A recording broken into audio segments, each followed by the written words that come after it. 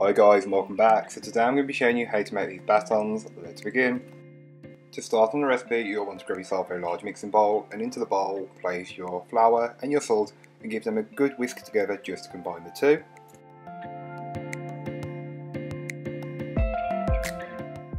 You can then go ahead and add in the yeast and the water and mix it on a low speed for 2 minutes followed by 4 minutes on a medium high speed.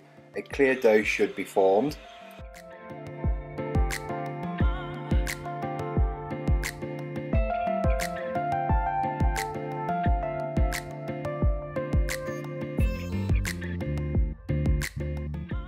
Once your dough is done, you can then take some flour and flour your surface with a good amount. Place the dough onto it and just give it a brief knead until it's smooth and elastic. It doesn't take very much kneading as this dough is pretty good.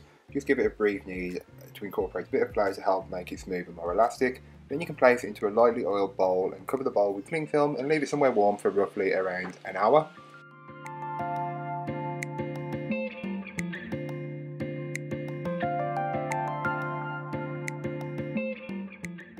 Once the dough has doubled in size, you'll then want to knock it back, but first don't forget to flour your surface and then knock the dough back.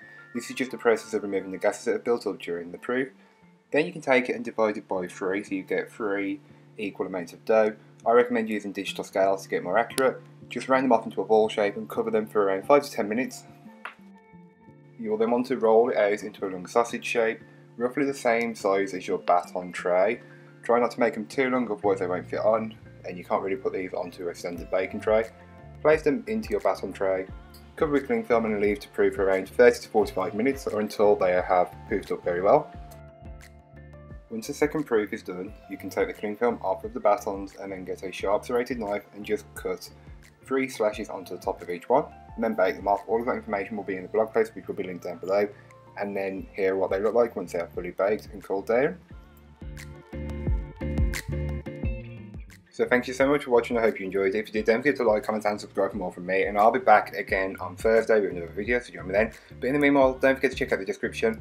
There'll be a link to this recipe, a link to my blog and all of my social media. So don't forget to go and follow me over on there. I post on Instagram more than anything, but yeah, don't forget, go and check them out. And that's it for today. Bye guys.